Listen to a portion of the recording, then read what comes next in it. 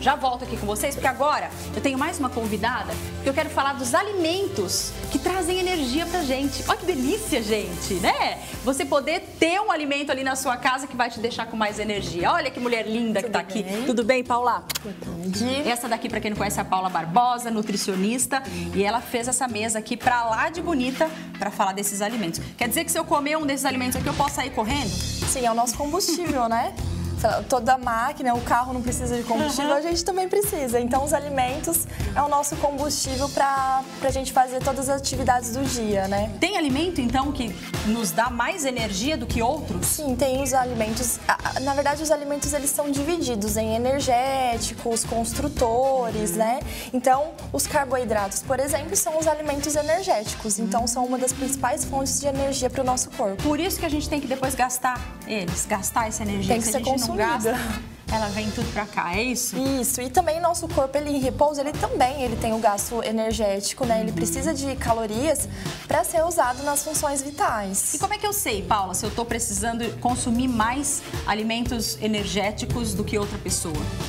É, é, todo mundo ele tem um gasto calórico é, basal, né, ah. que a gente chama de TMB. Então, todas as pessoas precisam dessa energia. Então, umas mais, isso vai diferenciar o tamanho, o peso, o sexo uhum. da pessoa, né? Uhum. Então, e a atividade física tem a ver também? Também. Então, Uma quanto que gasta mais energia, né? Sim, quanto mais a gente gasta, mais a gente tem que repor. Uhum. Então, a alimentação é o nosso combustível para isso. isso. Muito bem.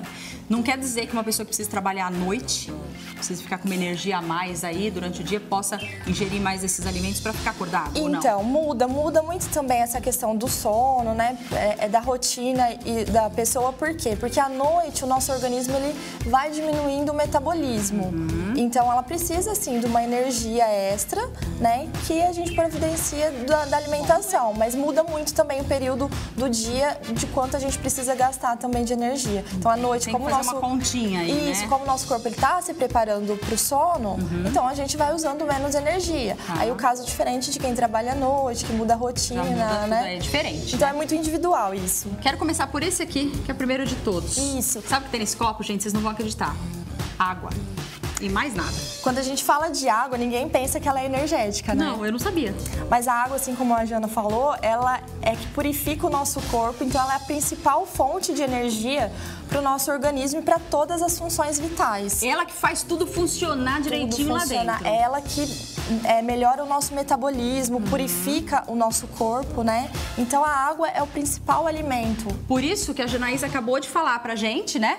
A respeito da água solarizada. Eu tenho que fazer essa água mais ou menos como? Eu ponho num copo assim ou eu ponho numa garrafa com cor, Janaísa? Você pode ou colocar num copo transparente, mesmo se você não tiver a garrafa, uhum. ou você pode trabalhar questões específicas com a garrafa colorida. Mas se você quiser no seu dia a dia colocar um copo de vidro, tem que ser vidro, uhum. né? E colocar ele ali para tomar 10 minutinhos de sol, você tá energizando essa água com prano e você vai tomar e ela vai intensificar mais ainda o seu campo energético. Viu só que beleza? Dá pra você unir tudo, né, nessa vida pra, pra ficar bom. Então, água não pode faltar todos os dias. E nesse copo, o que que eu tenho? Água de coco, hum. que é rica em minerais, né? Ela é um isotônico natural que vai repor é, nutrientes que você perdeu, principalmente durante o exercício. Certo. Então, é um alimento muito bom também para essa reposição. Então, posso, eu posso, por exemplo, substituir a água pela água de coco ou Ó, não? No, na atividade física, eu sempre oriento né, a pessoa a tomar água de coco de justamente coco. por a gente transpirar e perder esses minerais, né? Olha lá, galera. Então, é um isotônico natural, que ele tem tudo ali que a gente precisa, uhum. de forma natural, sem ser industrializado, né? Então, Melhor a água, ainda, a água né? de coco é sensacional para isso. Agora, esse aqui é famoso, né, Paula? Esse é um esse termogênico, né? É o famoso cafezinho. cafezinho de todos os dias, né? Todo mundo já sabe. Ah, não pode tomar café à noite, que depois tira o sono, você não vai dormir. É por conta disso, porque ele traz energia para o nosso corpo? Sim, ele vai. Como ele é termogênico, ele deixa o metabolismo mais, mais acelerado, né? Uhum. Então, isso faz com que você fique mais agitado e pode atrapalhar um pouquinho no sono, mas é independente. Às vezes tem pessoas que tomam para dormir e se sente É, bem, eu né? sou assim, eu não ligo não. Não faz diferença, Não, não faz né? diferença. O corpo já acostumou. E a pessoa tem que saber isso, né, Paula? Ela tem que saber se ela come determinada coisa ou se ela bebe determinada coisa, que aquilo pode mudar o metabolismo dela Com durante aquele dia. certeza, é. A gente tem que preparar o nosso corpo à noite, porque além da alimentação do combustível, o descanso é fundamental para repor essa energia, né? Só? Só? Então o sono é fundamental também nesse conjunto. Muito bem. Daqui a pouco a gente termina aqui, que ainda tem queijo, ovo, Os mel, aveia, carboidrato e muito mais, tá? Já volto aqui, tá bom? Eu já tô batendo um papo aqui com a Paula Barbosa, que é nutricionista, a respeito é, do que a gente pode comer para aumentar um pouco a nossa energia durante o dia, né? Uma pessoa que tá meio desanimada, Paula. Ai, tô desanimada, tô sentindo que eu tô com energia ruim, que nem a Janaísa falou. Ai, aqui tem sol e tal, mas não tô afim de sair de casa. Ela pode colocar um desses alimentos no dia a dia dela? Ela vai se sentir melhor? Com certeza. A alimentação ela tem muito a ver também com o humor, né? Uhum. É, a pessoa, às vezes, que come excesso de açúcar, é, ela acaba ficando mais mal-humorada. Olha só. É, esses alimentos industrializados, isso acaba faltando nutrientes. Uhum. Então, é- essa carência de nutrientes, ela tem esse efeito no nosso humor. Tá. Então, a alimentação é fundamental também para essa questão da, do, do humor e da... Do, do dia, do jeito que a pessoa dia. encara o dia. Isso, com certeza. É, né? Porque você já ficou com fome? É horrível, né? Você fica nervosa. Tem ovo e leite. Opa, quer dizer, Queijo. queijo que ovo. Eu olhei aqui e falei, será que é o leite, né? Será que o leite tá... Derivado. Deri- Oh, obrigada, obrigada. O que, que eu posso fazer com esses dois? Que hora do dia que eu posso consumir? Então, são alimentos, as proteínas né, desses alimentos, elas são construtoras. Então, eu sempre falo, a gente tem que consumir todas as fontes alimentares e a proteína é muito importante para isso, para a construção do nosso tecido, do no- da nossa musculatura. Então, horário. Tem que ter proteína em todas as refeições. Então, os ovos, o queijo, né? Então, a gente pode colocar no café da manhã, os ovos... No... E qualquer queijo tem que ser esse queijinho branquinho? Não, qualquer queijo, não processado, né? Eu Tá. indico um queijo que tem uma cura melhor, né? Um queijo mais curado, Tá. que ele é um queijo mais natural e mais saudável, mas não importa qual. Hum, é bom, só né, evitar os processados mesmo, né? Que aí tem muita, muita, química, é, né? Aí, aí desconstrói tudo que a gente está falando Isso. aqui, né? Aveia e mel, duas coisas que combinam com banana, Banana. né? Banana amassadinha. É um trio perfeito. Oh, meu Deus do céu, né? Como eu adoro. Mas eu posso fazer, tipo, comer três bananas de uma vez, assim, então? Depende, né? Depende de quanto você estiver de gastando de estiver energia. gastando, então não. Então não vou comer nem meia banana.